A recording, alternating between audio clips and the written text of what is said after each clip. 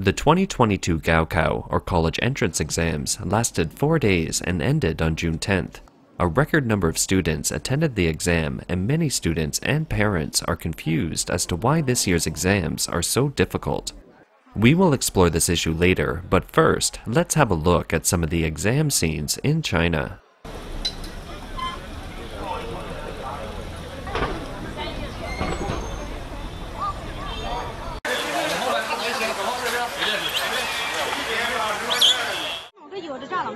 Recently, there has been a trend among parents to burn incense or kowtow to Buddha statues at home or at temples during Gaokao.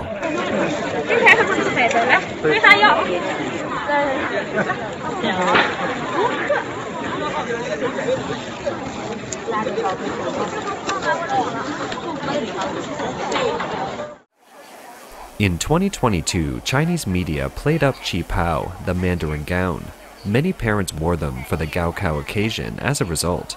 Chinese customs have a tradition of obtaining good luck by using words that have the same pronunciation with certain lucky words or phrases.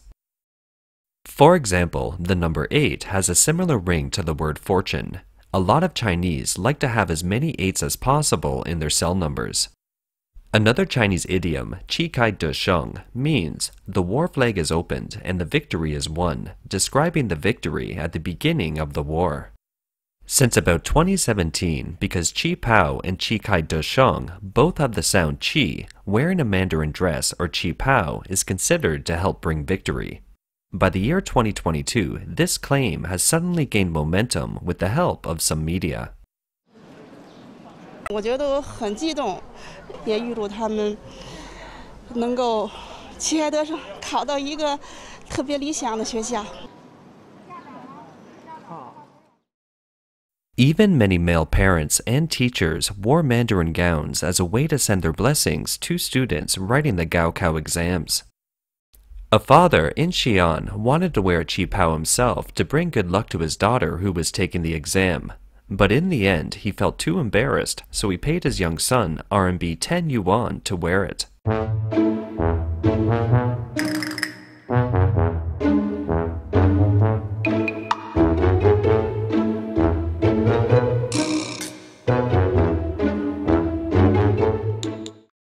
Again, in a similar fashion, a new trend involves parents holding a sunflower in their hands high above their heads, signifying win in one fell swoop. Whether such practices are effective or not, Chinese parents are willing to try as the college entrance exam is too important to them and their children. However, neither the children nor the parents have expected that the 2022 exams could be so difficult, especially in the Chinese language and math tests. When the questions were made public, people were in shock. There were seven sets of tests in 2022, and the same test paper was used in nearly 10 provinces in a larger area.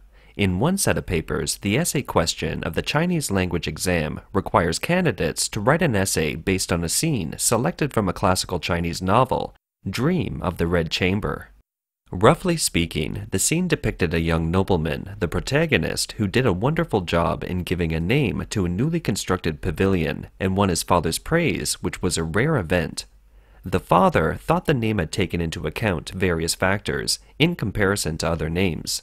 Students were asked to write an essay based on why the name was so wonderful and its significance and application to one's life. The protagonist named the pavilion Ching Feng, which means a fragrant scent, while other scholars in the audience named the pavilion Yu, which means it looks like crystalline water flowing like smooth jade. The father believed his son's choice was made with a wide range of considerations, including the surrounding environment as well as the origin of the Grand Garden, which was built to host the young man's sister, who was the emperor's concubine, coming home to visit her parents. The classic novel, Dream of the Red Chamber, was written more than 300 years ago. To really understand why one name is better than others, one needs to be proficient in the ancient Chinese language and have a solid grasp of classic Chinese literature and its deep cultural connotations. For example, the Chinese word fang means fragrance and also refers to a beautiful woman.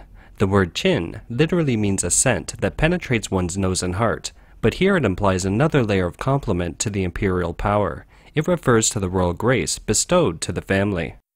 It's hard to imagine those average students who speak modern Chinese and spend most of their time buried in reading textbooks and taking exams every day can understand the ancient poetic language and the subtlety of different names, especially children from poor rural villages. The language, lifestyle, and thinking of royalty and nobility hundreds of years ago seems so distant from their lives. This set of questions was used for the southwestern provinces of China, which happen to be relatively economically backward regions with large areas of impoverished rural villages. As soon as the exam was over, this question immediately hit the Weibo hot search. A university professor commented, This is a rather difficult question. It involves Chinese culture and aesthetics. It's fairly demanding for the test takers. A Chinese writer wrote that the young nobleman and protagonist of Dream of the Red Chamber had a mastery of words and sentiments that is definitely at the level of a PhD in literature today.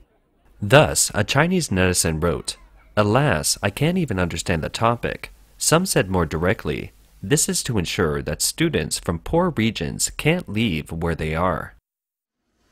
Another set of exam papers covering central and northwestern China, including Anhui Province, had an essay topic named Leap and Leap Again. It required students to write about the development of Beijing from 2008 to 2022 in the context of the Beijing Winter Olympic and Paralympic Games. Interestingly, students in Beijing weren't required to write on the subject because this set of exams were not used in Beijing. One parent in Anhui Province, a province that this exam was used, was furious about the essay topic. I just want to ask those experts and teachers who made the questions, are you teasing our children in Anhui by giving them papers of Beijing?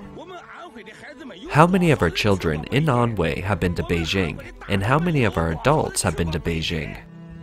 In 2008, that is, 14 years ago, these kids were only 3 years old. They were in kindergarten. They couldn't even remember wetting their pants. How can you make them write about the changes in Beijing? What is the purpose of the experts and teachers who come up with the questions? What kind of talents are they trying to select using such a topic that's out of touch with reality? Is it to push kids to make up stuff and hypothesize everything? To pretend?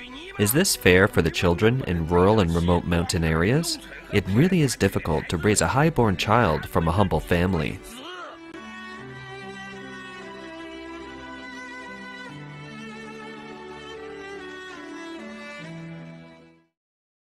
The same is true for the math exam. Many students walked out in tears, and some cried in the exam room.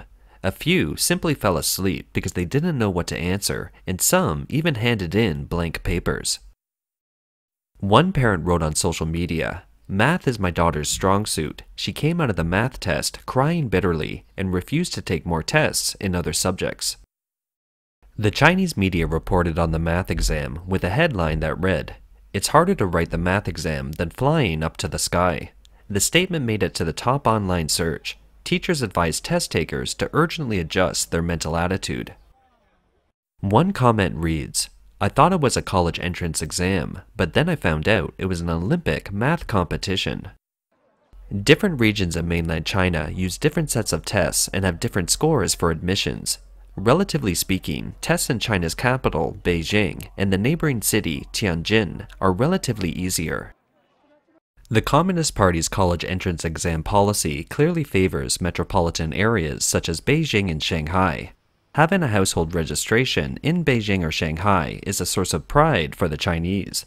The intensity of competition in the college entrance exams in these locations is reduced considerably. In Shanghai, the college entrance exams have been delayed until July 7th to 9th because the outbreak is still raging. Shanghai, which has been designing its own exams since 1985, has had little overlap with the national exam for a long time. In general, students in Shanghai are reluctant to leave the city. As a result, universities in Shanghai allocate fewer enrollment opportunities to outside jurisdictions.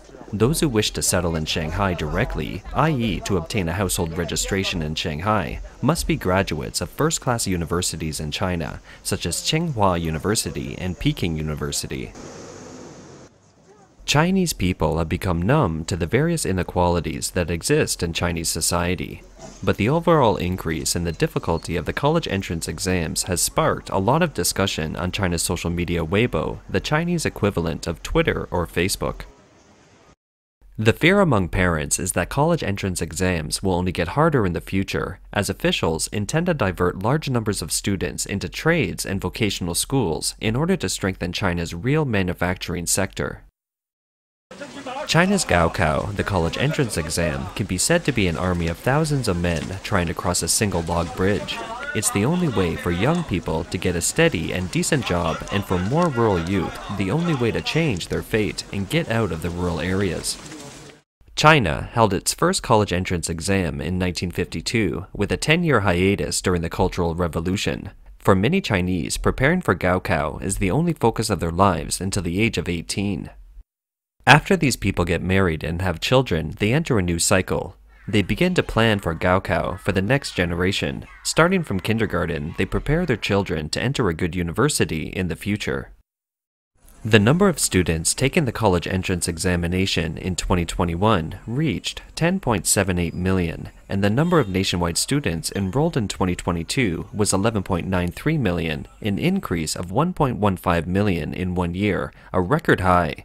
Such numbers also confirm that young people in China face increasingly limited options other than taking the college entrance exam. While 11.93 million families are scrambling to get to the new starting line, another wave of people are already at the finish line of college life. 10.76 million college graduates are facing the hardest employment season in history in 2022. There is a lot of pressure I have applied for more than 20 jobs, and I know some of my classmates have not found a job either.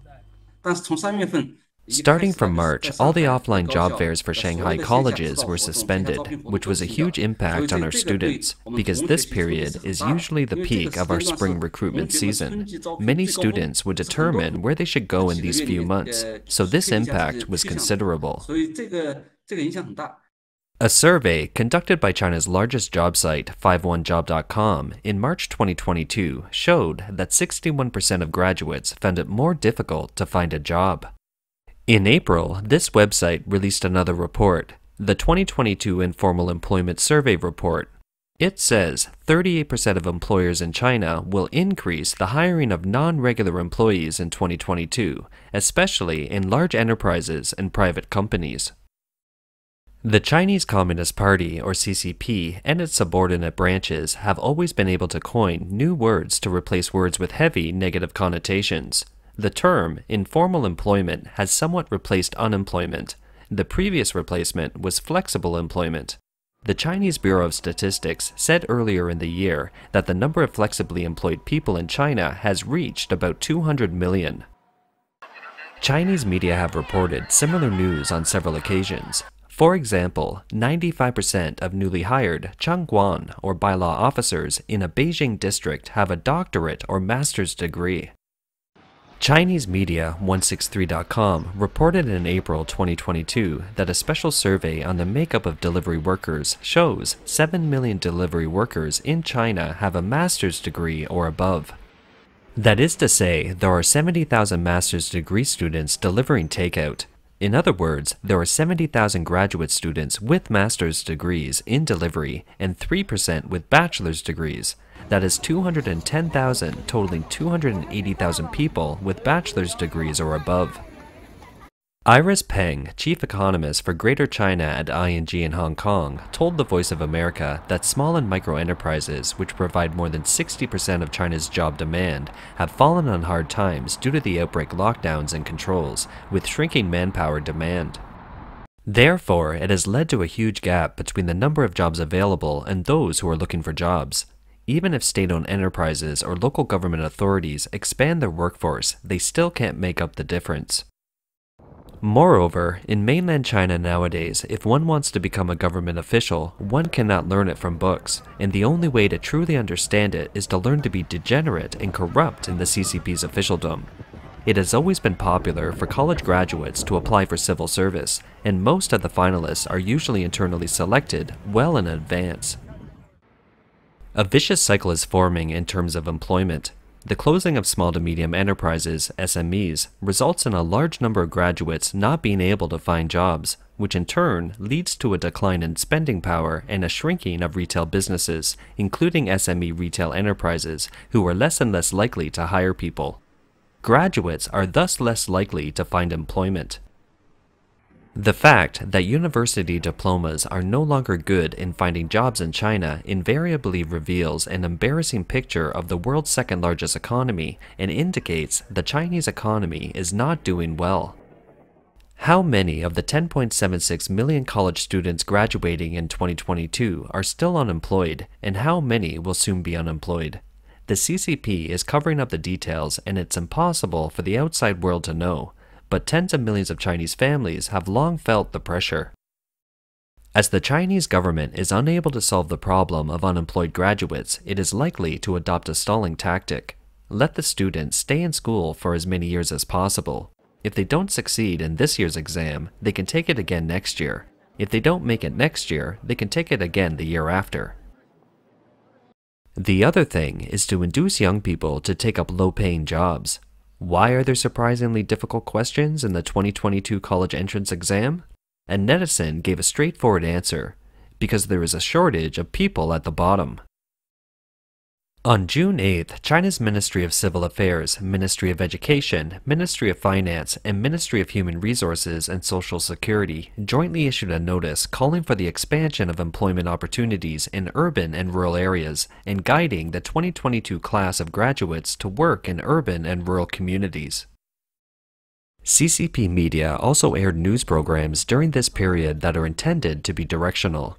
CCTV broadcasted that on June 8, 2022, Communist Party leader Xi Jinping visited a vocational college in Sichuan and attended a job fair for private enterprises held at the school.